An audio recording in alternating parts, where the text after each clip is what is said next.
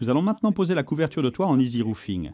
Il convient pour les toits avec une pente minimum de 2 degrés et maximum 20 degrés. Le gros avantage, c'est que vous n'avez pas besoin de chalumeau et vous n'avez pas besoin de cartouches de colle comme avec le PDM. L'easy roofing est facile à utiliser et un peu moins cher que le PDM.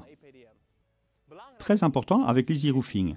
Ici, l'eau de pluie s'écoule dans ce sens. Il faut donc dérouler et poser votre easy roofing dans ce sens. De plus, veillez à ce que votre surface soit exempte de salissures et ne soit pas humide. Vous ne pouvez pas installer ce matériau par temps de pluie. Avant de commencer à dérouler, assurez-vous d'abord d'avoir bien tracé vos marques au crayon. Vous aurez ainsi des bandes bien droites. Nous commençons par faire dépasser un morceau au bord du toit. Nous pourrons facilement le couper par la suite à l'aide d'un cutter. Les rouleaux font 1 mètre de largeur. Je note donc ici 90 cm pour la première rangée. Puis, je reporte ma marque tous les 1 mètre. J'obtiendrai ainsi au final une bande bien droite.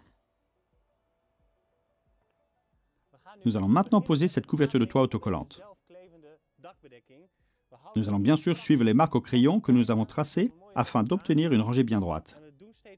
Nous déroulons un morceau d'environ 20 cm à chaque fois avant de passer au morceau suivant. Nous faisons donc comme ceci. Nous retirons le film protecteur.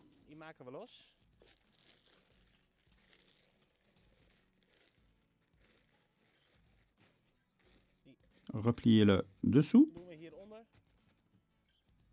Nous pouvons, comme ceci, coller le premier morceau.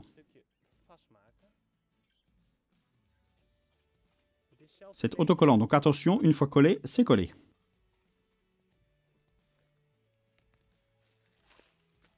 Puis nous plaçons le morceau suivant de 20 à 30 cm. Nous le couperons par la suite. De même que la naissance d'eau de pluie que nous retoucherons plus tard au cutter.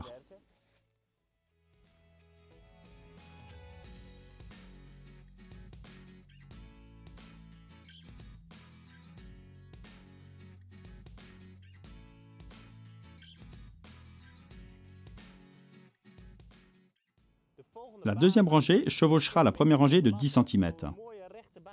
Et pour avoir une rangée bien droite, je vais ici aussi tracer un trait. Je fais comme ceci.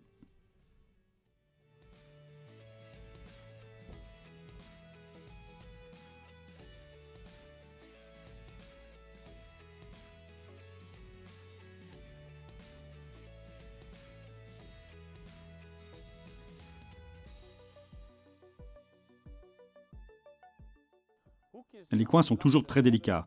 Nous avons déjà collé un morceau ici et nous collons un petit morceau par-dessus. Nous serons ainsi plus sûrs de ne pas avoir de fuite à ce niveau.